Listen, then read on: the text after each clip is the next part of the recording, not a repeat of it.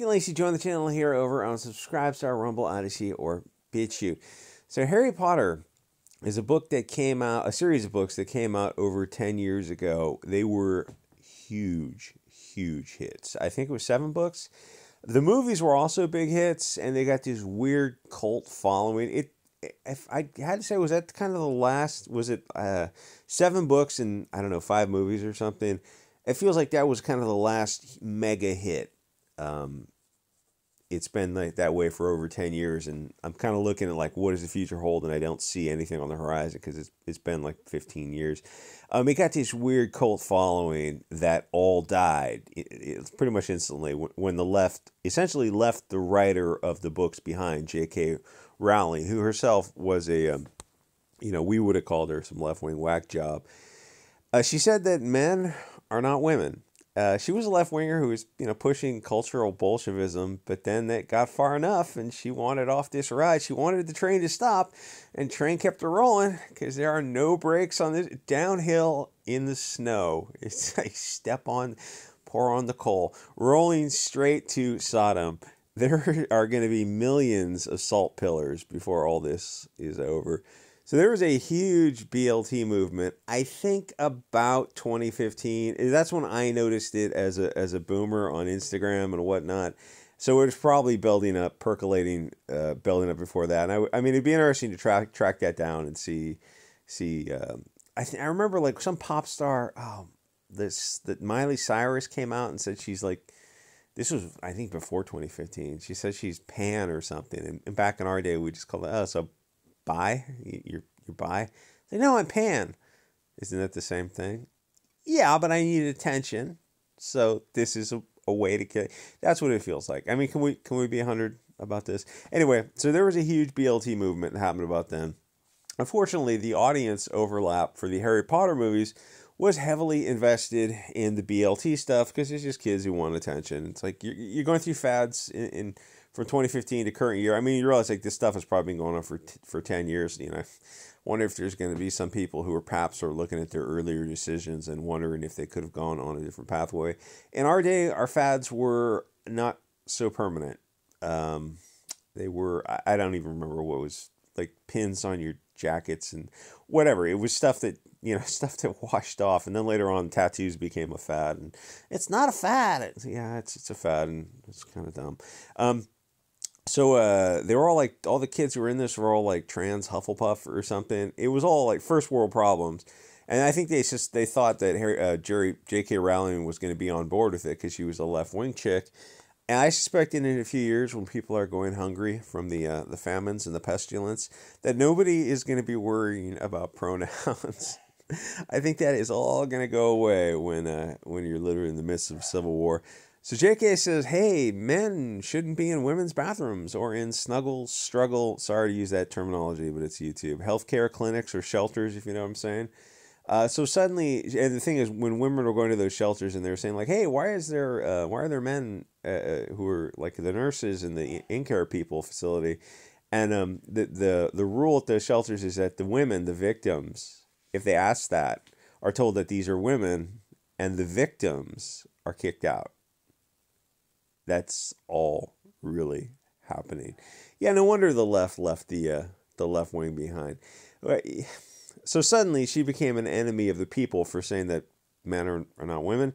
And these perfectly healthy, well adjusted people literally went to her house to do a little stochastic terrorism and to make threats against her.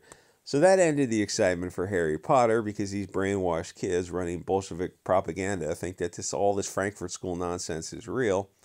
It's not. The goal is to lower your birth rates and to destroy the nation by harming yourself. I'm, you know, very carefully choosing my words here, which it has been very successful at. We're going to have like a changing room at schools, and you don't have to tell your parents, trust me, your teacher. Uh, vote harder. You know, just vote harder next time. So they think JK is the real danger to their worldview. The lady who writes silly books and says that men are not women. Yeah, she's she's the existential threat. She's the red herring that you should all focus on. This this woman who writes books. Don't get me wrong, she's an excellent writer. I mean, she wrote books that even adults could uh, you could read them as well as your kids and grandkids. not any other issues in the world. Just focus on the woman who writes hurty words on Twitter about men not being women. Stay distracted, cattle. So that pretty much ended Harry Potter, which was over anyway. It was a decade old. It had its run. It's a case of the left.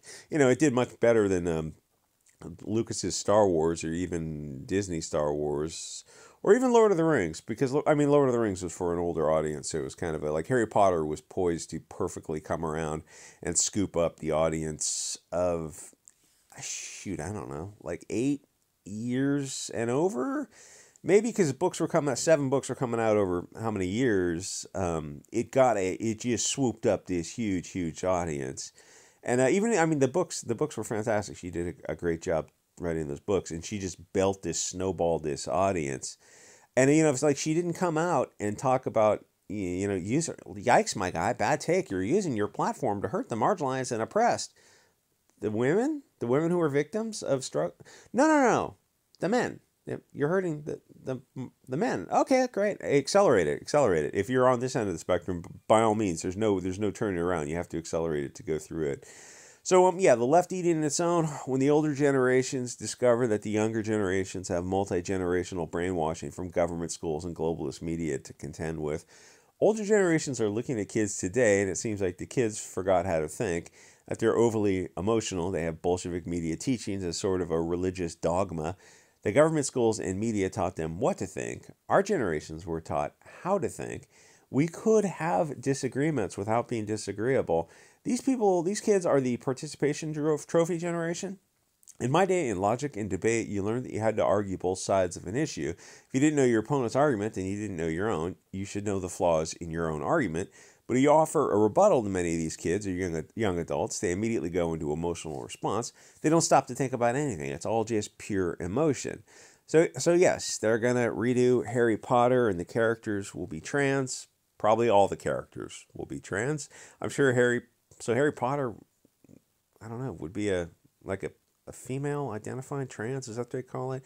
Um, and probably they'll probably swap out all the characters for whatever they want. I mean, just they'll make it as just whatever. I mean, it, you know, like like even the left wing's not going to see this stuff. The first movies were riding off the strength of the books, so the energy. If you come out with a show now, the energy is not there anymore, and it's like they're gonna the energy. They'll try to craft the vibe. I'm sure it'll be all like trans and you know BLT and POC and all this kind of stuff.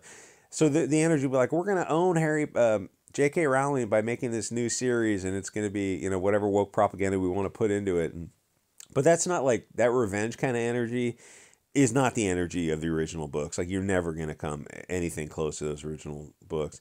So it'll just be like BLT propaganda, and everybody knows it, so the excitement isn't there anymore. It'll probably be a streaming show, which is where shows go to die. I don't remember who owns. Oh, Warner Brothers. Warner Brothers Okay, so Warner Brothers is HBO, so it'll go, I guess, there to stream. Um, streaming shows, streaming platforms is just where shows go to die. And by the time this comes out in like you know three years, uh, like they may have re they may start rethinking streaming and, and discover like ah the big screen is really where we're getting um, we're getting not just the money for the shows, but you get the budgets to make shows that start that create a following. Where streaming shows are not the same type of vibe, so they might want to start rethinking. Like, if you let big screens go out of business, well, you you destroy that infrastructure, and then it's it's easier to maintain the infrastructure. You know, the also, tiresome meme, than to have to recraft it from the start. Look what they did to Star Wars. There's like a half a dozen Star Mando and Boba Fett and uh, uh, that guy from the Disney, the the, the Lucas prequels. Uh, uh, uh Obi Wan or something, um, Andor. There's uh, like a bunch of Star Wars shows that nobody's heard of.